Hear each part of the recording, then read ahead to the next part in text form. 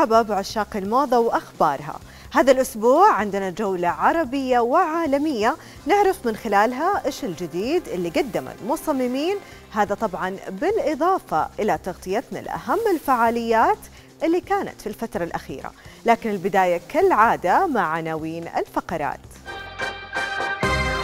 الليلة في فاشن نيوز سعودي أرابيا سمر نصر الدين مصممة سعودية بطموحات عالمية. والدتي فنانة تشكيلية فأنا كبرت وأنا أحب ال art والفن وعندي اهتمام بهذا المجال. المصممة المصرية سارة أنسي تطلق تشكيلة مميزة بحضور العديد من النجوم. بحضر ل haute couture collection إن شاء الله هيتعرض برضو في أسبوع من أسابيع الموضة very soon ونتعرف على تفاصيل تشكيلة دار جي دبليو أندرسون للألبسة الجاهزة. أمينة خليل وشغف جديد بعالم الموضة. في designer مستخبية جوه.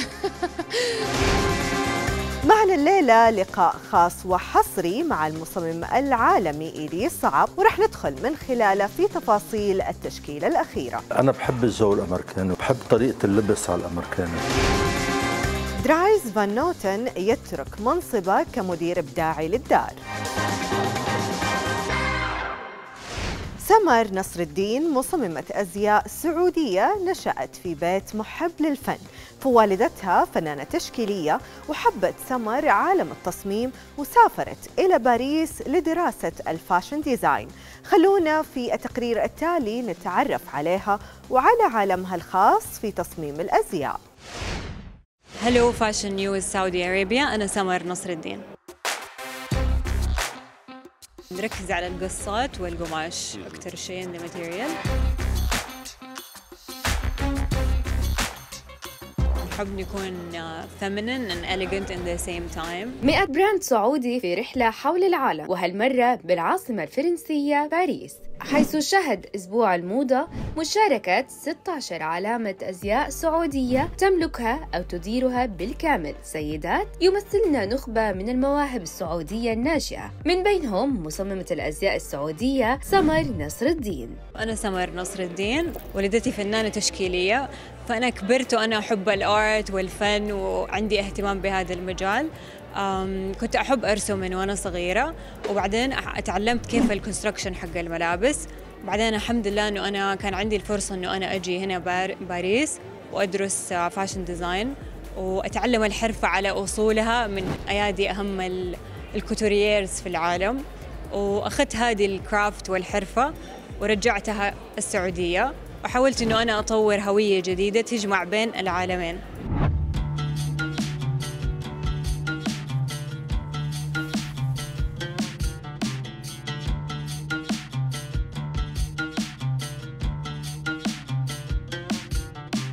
ال brand حقنا Contemporary Women's Wear. آه بدأنا ال brand في 2015 آه إحنا نركز على القصات والأقمشة في ال designs حقتنا. ونهتم إنه إحنا نوصل آه صورة حلوة للمرأة العربية السعودية تحديدا. انه هي تقدر تعبر عن نفسها وعن her identity in a very unique uh, individual way.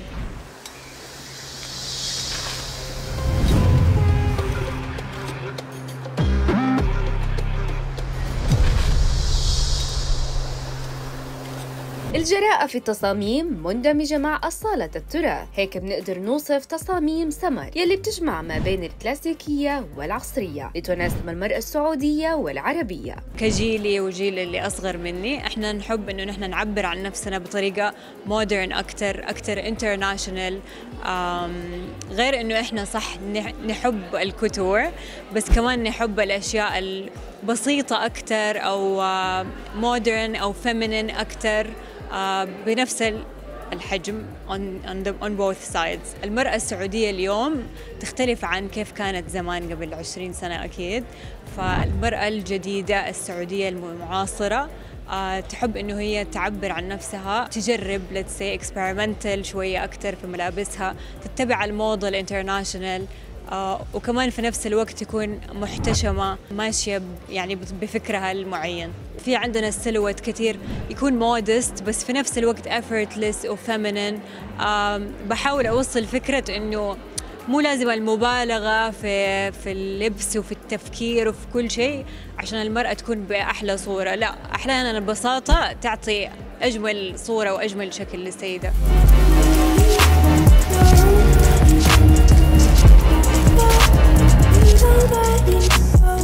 مجموعة استثنائية ومميزة من التصاميم. قدرت سمر إنها تقدمها خاصة بعد الانفتاح والتطور الكبير يلي بتشهده المملكة العربية السعودية. لكنها أكيد قابلت صعوبات وتحديات. كان من الصعوبات اللي واجهتني إني أقدم بخيتا بوختي في السعودية. زي ما حضرتك ذكرت إنه في السعودية أغلب المصممين اللي السعوديين يركزوا على الكوتور وعلى لبس السهرة فإنه أنا أقدم شيء أكثر prêt-à-porter وملابس جاهزة. وهذا الفكر شوية فرنسي اللي أخذته من تعليمي إني أقدم هذا الفكر وبدي الصورة في السعودية. كان شوية الناس ما تعرف يعني آه، فعشان كذا أخذ وقت عشان نلاقي ال common ground بيننا وبين يعني في السعودية وبين ال international market. وبيعتبر برنامج 100 brand سعودي مبادرة رائدة. أطلقتها هيئة الأزياء في المملكة العربية السعودية بهدف ترسيخ مكانة مصممي الأزياء والعلامات التجارية السعودية في مشهد الأزياء العالمي ال fashion commission هو كان فرصة كبيرة لينا إنه نحن نكون في برنامج زي 100 brand سعودي. ونجي هنا ك collective آه، ك designers عرب سعوديين سيدات نعبر عن أنفسنا ونعبر عن ثقافتنا وفكرنا في التصميم والإبداع في مكان international زي باريس fashion week فهذه أحلى فرصة ممكن تكون لأي designer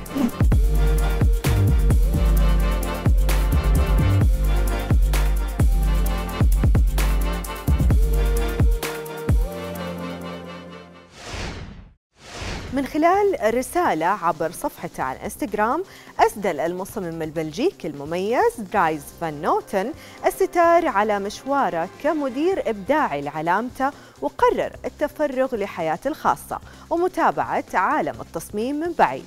في التقرير التالي خلونا نتعرف أكثر على هذا المصمم الذي وضع بصمة خاصة ومميزة في عالم تصميم الأزياء.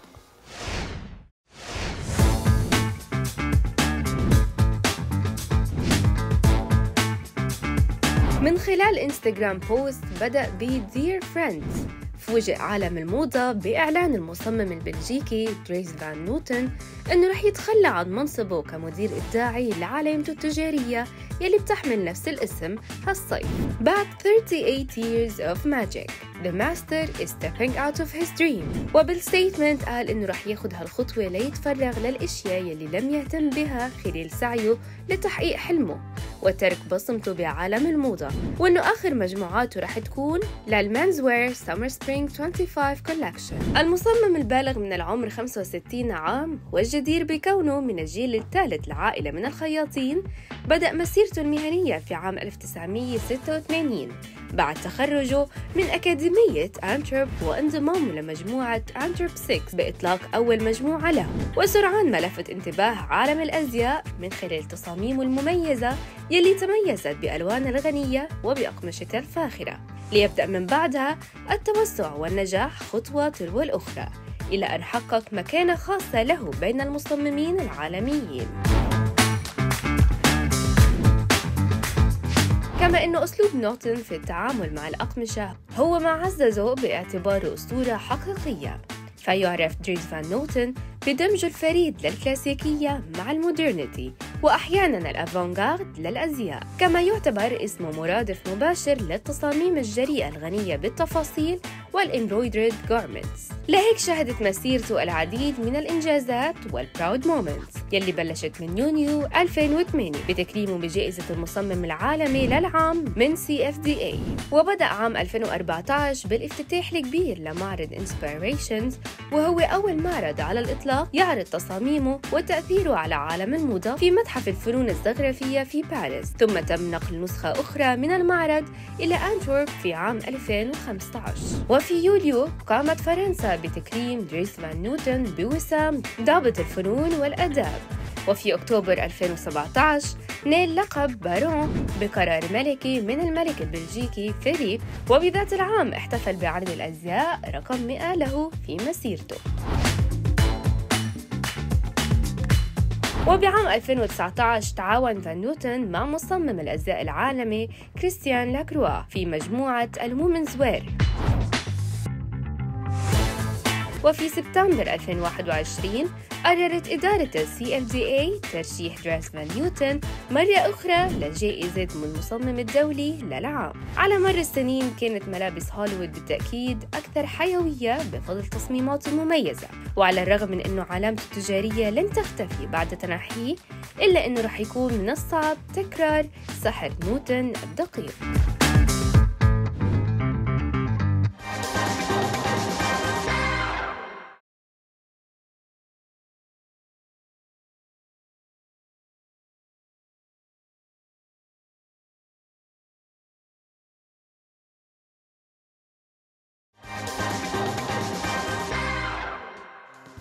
خلال أسبوع القاهرة للتصميم واللي كان من فترة قدمت المصممة المصرية سارة أنسي تشكيلة جديدة أطلقت عليها اسم The Journey and Words وطبعا حضر العرض عدد من النجمات. خلونا نتعرف على تشكيلتها وردود الفعل حولها. ويرينج ساره انسي دريس أنا كل ما أقف عند فستان أقول لسارة هو ده فستاني أكيد. لمع اسم سارة أنسي في عالم تصميم الأزياء وتردد اسمها بين المهرجانات سواء المحلية أو العالمية. يلي بنشوف فيها كتير من ال celebrities بفساتين من توقيعها ويلي أكيد رافقوها في حفل انطلاق ال collection الجديد يلي بيحمل اسم The Journey in Words أنا ال collection دي بقالي كتير بقالي سنتين almost شغالة عليها a different concept إنه it's not about the dresses it's بتحكي آم، أو هي ليها علاقة أكتر بال self-awareness فهي experience إن أنا جيت خلاص أنا. دلوقتي ه launch ال collection كانت بالنسبة لي حاجة مهمة قوي إنه ال experience تبقى كاملة. الفساتين as part of the narration إن إحنا بنحكي قصة. وكل فستان بيحكي personal growth concept ي trigger الناس إنها تشتغل على نفسها في حاجات. آه، بس لما خلصت ال collection وجيت محتاجة أنفذ ال collection أو ال experience اللي أنتم موجودين فيها النهارده دي كان بالنسبة لي مهم قوي إنه كل ال elements تكمل بعضها إن إحنا نحس إن إحنا جوه ال journey بجد. فأنا مبسوطة قوي النهارده إن أنا معايا عمر وكريم Oak Architects و Production Lab اللي عملوا لي ال experience الكاملة اللي إحنا شفناها النهارده دي. لما ساره جت كلمتنا وحكت لنا على ال concept بتاعها كان المهم عندنا إن إحنا نحول ال concept ل experience أو journey الناس كلها تعدي بيها. فأخدنا المكان بتاعها وعملنا زي story إن الناس كل فستان بيحكي عن قصته. الصراحة فكرة ال narration دي كانت فكرة برضو يعني لما قعدنا مع بعض إنه أنا شرحت لهم ان في concept وإنه الفساتين مش فساتين لأ هي بتحكي حاجة. فبدأنا ن brainstorm وهم طلعوا فكره إنه لأ الناس محتاجة تشوف وتقرأ والشخص اللي مش مش مش حاسس إنه عاوز يقرأ هو كمان ممكن يسمع قصة الفستان.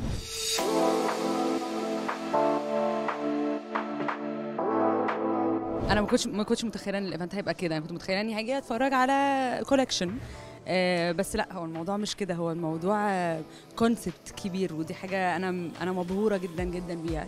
آه، تجربة كلها مختلفة والنهاردة ال- الحاجات ال- ال collection فظيع ومختلف.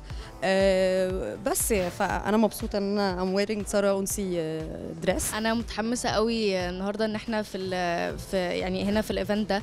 ساره انسي بتقدم لنا حاجة خطيرة الصراحة. كل فستان أو كل ديزاين تلاقيه في ال- في الرحلة اللي إحنا بنشوفها هنا في ال- في الاتيليه يعني آه ليها فكرة ليها حاجة وراها. بتوديكي من واحدة إلى الثانية وبتدخلك جوه نفسك.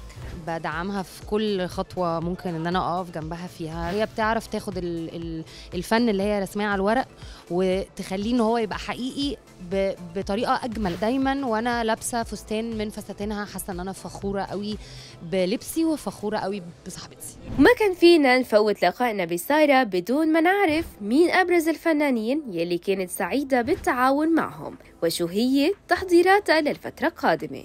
والله كلهم قريبين لقلبي لأن كل فستان عملته ال celebrity ليه قصة أو أخدنا مع بعض في journey لغاية ما نطلع بال design اللي إحنا عاوزين نعمله. لا يعني انبسطت قوي أكيد إن أنا اشتغلت مع حبيبة قلبي يسرا. كل الناس كل الناس اللي اشتغلت معاها بجد آه، الشغل كان طالع بجد شغل نيلي كريم. بس أمينة طبعا من أول الناس اللي اشتغلت معاها وأكتر الناس اللي اشتغلت معاها غير إن هي صاحبتي قوي بس إحنا بننبسط قوي في الشغل مع بعض لأنه خلاص إحنا حافظين بعض. بحضر ل collection ready-to-wear actually هي حصل لها launch النهارده ال celebrities كانوا لابسينها. ال collection دي معمولة بقى for Middle East يعني مصر وهتتباع كمان بره أه بحضر ل haute couture collection إن شاء الله هيتعرض برضو في في أسبوع من أسابيع الموضة very soon. وبحضر بقى افتتاح المكان بتاعي الجديد إن شاء الله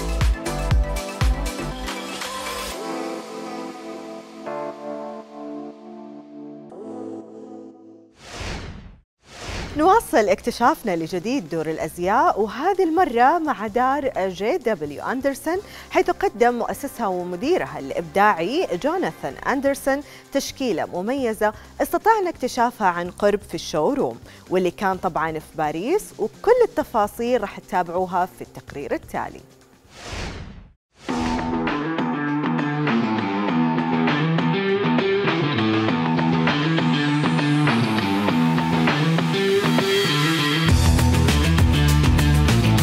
يواصل المصمم جوناثان أندرسون في إبداعاته وقدرته على تحويل الأفكار الغير تقليدية إلى أزياء ينبهر بها الجميع. واليوم رافقناه في ال showroom لنشوف مجموعته لل ready-to-wear لخريف وشتاء 2024-2025 المسلسل الكوميدي The Last of the Summer شكل مصدر وحي تصاميمه المميزة هيدي المرة فاعتمد بشكل أساسي على الملابس ال comfy والجراءة في التصاميم يلي برزت من خلال ال oversized coats لتكون هي ال focal point يلي بتخطف الأنظار عليها وجمع بين التفاصيل الأنثوية والملامح الذكورية بتصاميم عصرية سهلة الارتداء.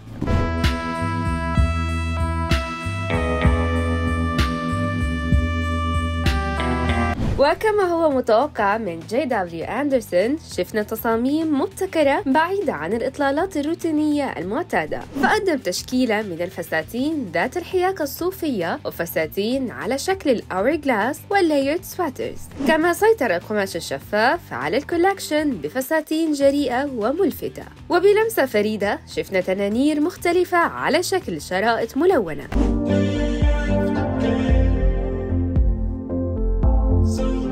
فينا ننسى القطع الجلدية وال basic sets بجانب ال wide leg shorts أما عن الألوان فاعتمد على العديد من ال patterns الملونة بجانب الألوان المحايدة مثل الأبيض والبني والأزرق.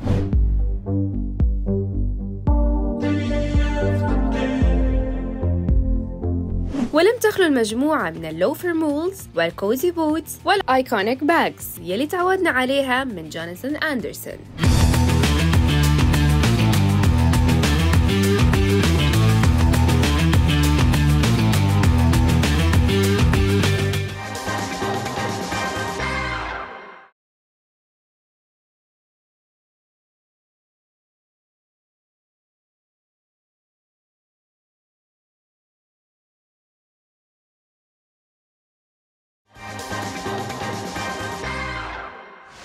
من النجمات اللي صرنا بنحب إطلالتهم مؤخرا هي أمينة خليل. فبعد نجاحها سينمائيا شفناها عضو لجنة تحكيم في مهرجان البحر الأحمر الأخير. كاميرا البرنامج رصدتها في باريس خلال أسبوع الموضة في التقرير التالي رح نتعرف على حب أمينة خليل لعالم الموضة وهل هذا الحب قد ينتقل لمشروع جديد فيها؟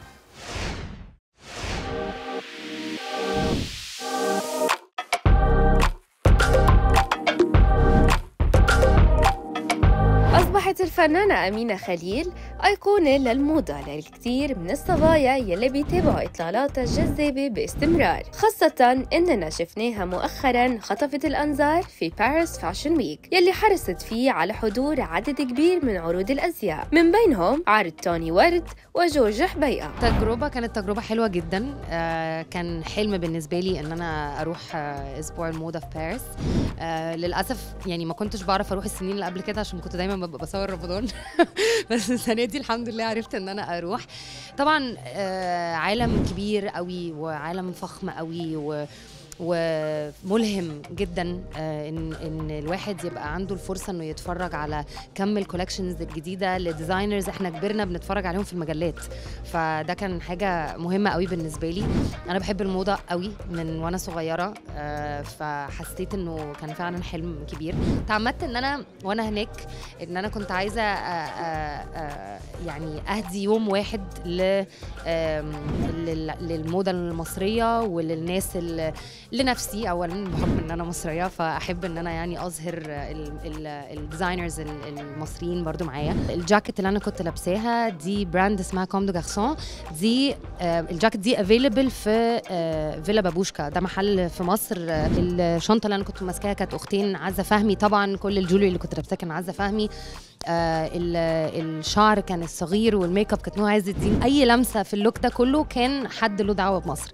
فكنت مهتمة جدا بالموضوع ده وحسيت إن الحمد لله ده من أكتر ال looks actually اللي, اللي عملوا ضجة في الأسبوع ده يعني فحسيت إن إحنا كسبنا يعني. مصر موجودة في في عالم الموضة والأزياء من أيام الفراعنة أصلا وهم لبسهم مبهر وشكلهم مبهر وكده وحتى دلوقتي إحنا موجودين إحنا على الخريطة دي. شغف أمينة كبير لل fashion وعلى ما يبدو إنه رح ينتقل لمرحلة جديدة.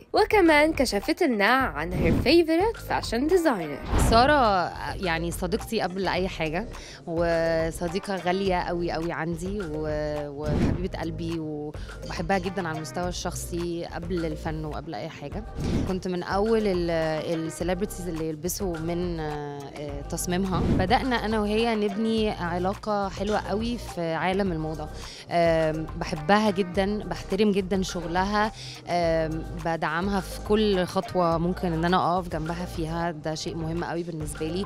علشان أنا بس بصدق قوي في شغلها وبحب جدا الناس اللي بتحط مجهود جدا في كل خطوة. هي مش بس فكرة إن أنا بصمم على الورق فستان شكله حلو بس فكرة إن هي بتعرف تاخد ال- ال- الفن اللي هي رسماه على الورق وتخليه إن هو يبقى حقيقي بطريقة أجمل أصلا. شفت التطور بتاعها آه، على في آخر عشر سنين مثلا فهي بدأت بحاجة ودلوقتي اللي هي وصلت له بأسابيع الموضة اللي هي سافرت علشان تعرض فيها بالكولابريشنز اللي هي بتعملها دايما. وأنا لابسة فستان من فساتينها حاسة إن أنا فخورة قوي بلبسي وفخورة قوي بصاحبتي. دايما في في الفساتين اللي بعملها معاها.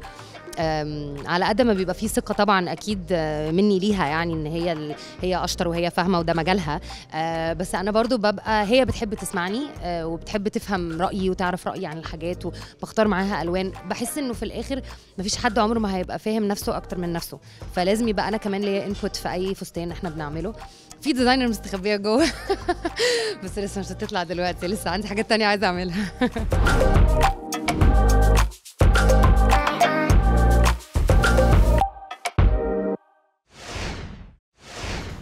وختامها مسك رح ناخذكم الآن إلى عالم إلي صعب الساحر. الزميل بلال العربي قابل مؤخرا في باريس وعرف منا تفاصيل آخر تشكيلة الألبسة الجاهزة لخريف وشتاء 2024-2025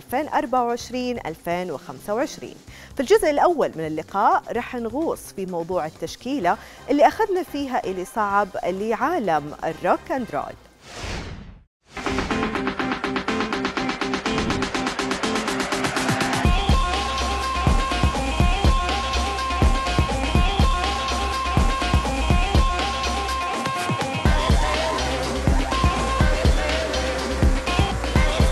كيف بلش صباحنا اليوم؟ آه، بلش كتير حلو. إنه شفناك أهلا وسهلا فيك. أوه، أوه. بعد ما شفنا شو مجموعة إيلي صعب لل ready-to-wear 2024-2025 كان لازم نقعد معه ونغوص أكتر بال mesmerizing rock and roll details لل collection يلي حملت اسم Melodies of Graceland رايحين على أمريكا هالمرة. رايحين على continent completely بعيد. آخر مرة كنا بشمال أفريقيا هلا رايحين على على أمريكا. خبرني يعني لأنه أنا بحب الجو الأمريكاني وبحب ال... بحب طريقة اللبس على الأمريكاني. شوي في جراءة من نوع من نوع آخر يعني بتلاقي إشياء مركبة على بعضها بطريقة مختلفة. بحس إنه آه، الذوق الأمريكاني دائما عنده غير نكهة. كاجوال شيك بس بطريقه هيك مش إيه ما فيها افور يلا الكوليكسيون لكان رايحين فيها شوي على الستيل الامريكاني ان بو الايحاء هيك صحيح انه هو روك افون يعني بس تعرف انه أنا دائما داول مواضيع طرق لها بالكولكشن بطريقه كتير ناعمه بطريقه كتير سبتيل يعني بتلاقيها موجوده بتطريز الكتاف بهالكولكشن في قطع كتير مع مع فرانشات شوي عراض. في البوتات الويسترن بمعنى فيمينين انه هيك بتحسهم مخلوط يعني ويسترن بس مش بوز رفيع ومش كعب مايل. يعني بتحس إنه آه، الكود الفيمينيتي بعدها موجود مع إنه روك اند رول لازم يكون شوي آه، أغرب من هيك. حلو. ما هو شو ما كان التيم مجنون انت بتجيبه لعالم إليسا؟ إنه أنا بتعرفني إنه بحب الأشياء ناعمة وما تحس إنه هالقد تنزعج يعني.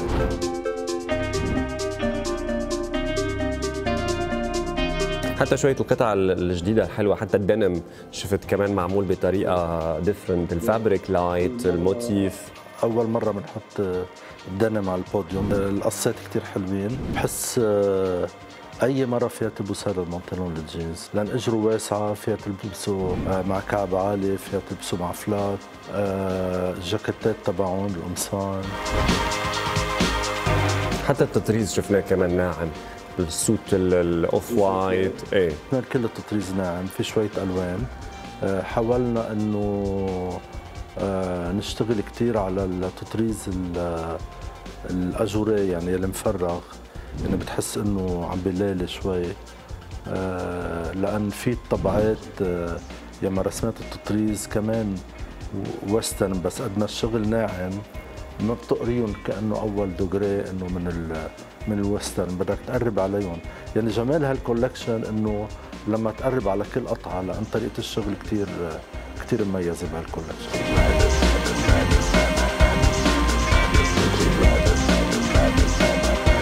شفنا كمان دي موتيف طالعين وكأنهم 3 دي الفلاورز هيدي البوان فور تبع الكولكشن في فلاور على الكبابيت. بما إنه النسوان صايرين عم مش عم بيحبوا الفرو كثير حاولنا نعمل فوليوم بالقماش ذاته. لأن هيدا فوليوم الفلاور يعني هو صحيح منه ويسترن. يعني بتلاقيها لابسة مثلا القطعة لها فلاور بس مع البوت مع البوت الويسترن إنه حتى الخلطة إنه تضل كثير إنه فيمينين يعني.